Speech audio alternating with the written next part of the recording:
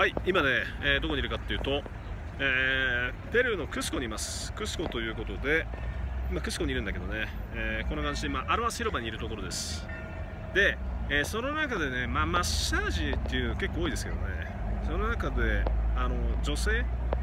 ゆるそのペルーに関してはあのいわゆる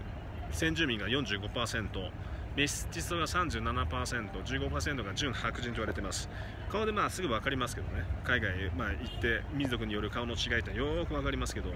えーその中でもちろん純白人ということで女性がいてペルペル人ですけどね。まあそのいわゆるそのマッサージを言ってきました。スペシャルマッサージはどうかということで。まあいわゆるそのフェラチオあのオーラルセックスで、えーいくらかって言ったら100ソルということで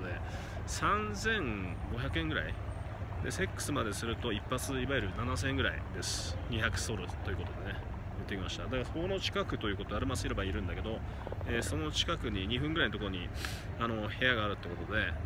えー誘われましたけどね。結構なんかクスコでそういう話を聞いたんだけどやっぱあるのかなっていうね。風俗というかまあ立ちんぼですね。いわゆるね、うん。なかなか面白かったです。まあでもねさすがに明日出るしあの風邪ひいてるしなんかそういう気にならなかったですね。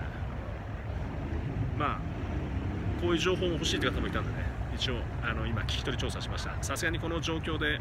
話しながら撮影ってちょっと厳しいと思ったんであえて事後報告でさせていただきますけど大体相場はそのくらいまあできることもできるかと思うけどね。